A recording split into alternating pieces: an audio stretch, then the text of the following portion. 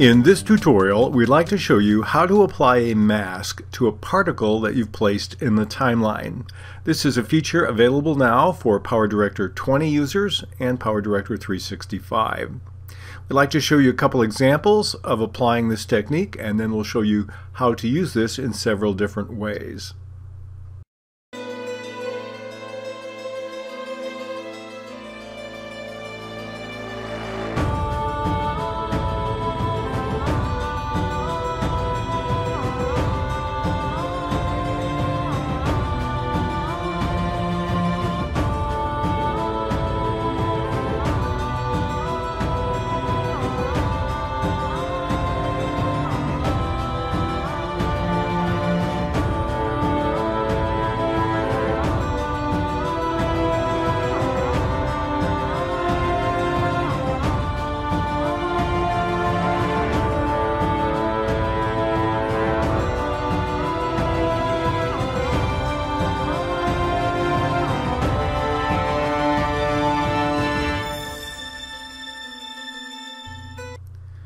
What I have on the screen is my video of these batteries and let's assume I want to make it look like they have energy flowing out of them so we'll use a particle to enhance that.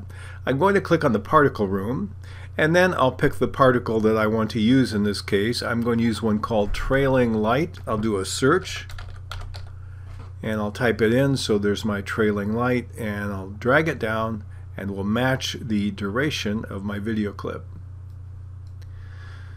Now when I play this normally, we'll see what we get. We actually have a light, but we also have a bit, little bit of a, uh, of a scene here of a sky, and I don't want the sky, I just want these little particles popping around. So let's go and see what we can do with that. I'll double click on the trailing light particle. That gets me into my particle designer. The first thing I want to do is turn off the background, so I'm going to click the disable button there and that looks pretty good. And I'm going to click on OK. Now that I have that disabled, what I want to do is change the area in, that is impacted by my particle. So I'm going to move over a little bit in my timeline. And here I see I have my batteries and I'm going to narrow down the area of the particle. So I'm going to highlight the particle and click on the Tools button above the timeline. Then I'm going to choose my Mask Designer. So now what I'm going to do is click on one of my masks. I'm going to take this one and click on that. And then we're going to rotate it so it's horizontal. And now I'm going to take it and enlarge it. I want it basically to show up when we're looking at the, the close-up of the batteries. I'm going to set a position keyframe.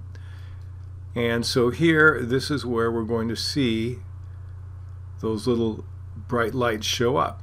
And I'm going to move down farther and the camera moves a little bit, so what I'm going to do here is I'm going to change the position of this. I'm going to move it up a bit. Widen it. And then we'll look at the end and see that's pretty good. I only need a couple position markers for that to work. Now there's something else I want to do when I'm here. You notice we have a very sharp line where this is impacted. And what I often do is I'm going to feather it just a little bit so it doesn't look like there's a line there in the final. So when we play this, go back a bit, we'll play it. And then we see the camera move down and these little lights shine around the battery to show their power and they isolate themselves to this segment of the video. So that's one way to do that. I'll click on OK. Let's take another quite different video. Here we have a couple sitting on a bench. Obviously there's some affection going on here so we're going to celebrate that by using another particle. I'm going to use one called confetti here. I can st start typing the word. And here we have some confetti. Let's take this and drag it down. And I'll put it on top on the, another track and we have confetti falling down as they are drinking their hot chocolate. But the problem I have, the way it is right now, is that it's obliterating their faces. I don't want that to happen. So again, we're going to use a mask. I click on the Tools button, choose my mask designer again. I'm going to take actually the same mask here and apply it. I double click.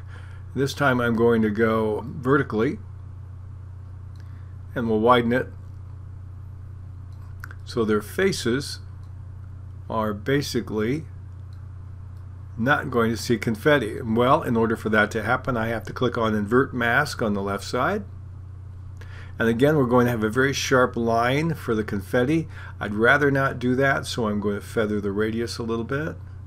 It'll bleed over just a bit, but it'll look pretty good. Maybe I need to move a little bit to the left here, given where the camera is. And when we back up and play this, we'll see that we have the confetti in the scene, and it's celebrating uh, their affection for each other, and yet it's not obscuring their faces. And I didn't have to go into the particle designer and redesign everything about this particular particle in order to make this happen. So it's a nice shortcut. I'll click on OK. Let's try another one. I'm going to go to this scene of a runner on a beach. And let's say I want to highlight their running. So what I'm going to do in this case is I'm going to take uh, another particular particle. I'm going to do one called swirling snow and drag it down and apply it to at least part of the video here. So we'll click on our particle and then we're going to click on tools and choose mask designer to mask our particle. I'm going to pick this circle and what I want to do is make, make sure I have maintain aspect ratio turned off on that and we want to make sure as well that we're going to click on invert mask so everything outside the circle is masked. Then we're going to keyframe this. We'll start at the beginning and set a position keyframe and a scale keyframe. Then we'll move in just a little bit to where the mask starts. And let's say we're going to narrow this just a little bit. And I'm actually going to go up a bit because I don't want the snowflakes on top of the runner. Let's move over a little bit more. And that that one looks okay there. We, we get a larger shot of the runner. We're going to, let's see, move the mask a little bit to the right. And we get the same effect. So I'm going to click on OK. And we'll see the first part of this and see what it looks like as we transition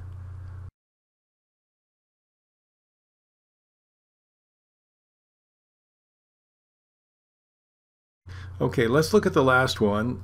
This is going to be a little bit different. We're going to take this, this video of the road scene and apply a mask. I'm going to take one called O2 Light. Okay, I'll take this one and we're going to apply it in this case. Now in this case we have a mask that has all these bright lights coming down. And what I want to do is I want to make them come down like they're UFOs coming down behind the mountains. So I'm going to click on that, click on my Tools Designer, my Mask Designer, and in this case we're going to pick the icon to the right, the Custom Selection Mask, and then we're going to draw a, a mask around the mountains here.